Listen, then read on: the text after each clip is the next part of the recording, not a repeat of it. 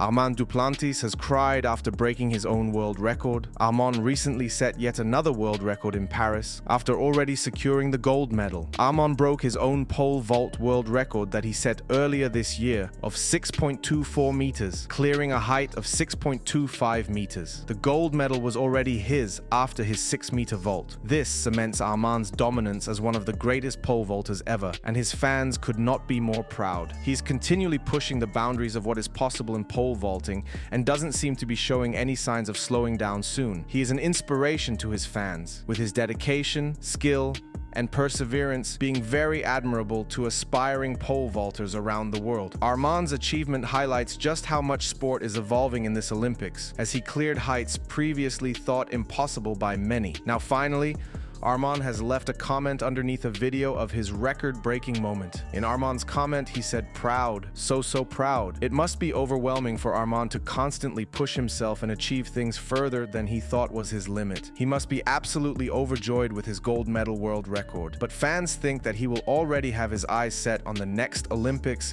and beating his own record. One fan said, it's so inspiring to see Armand's emotions after breaking his own record. The guy is a machine, always pushing himself to the limit. To see him cry just shows how much this means to him. He's a true champion. Another fan said, this is getting a bit ridiculous. It's like he's competing against himself at this point. How many times can he break the same record? It's not even exciting anymore. I'd rather see more competition in the sport, not just one guy dominating.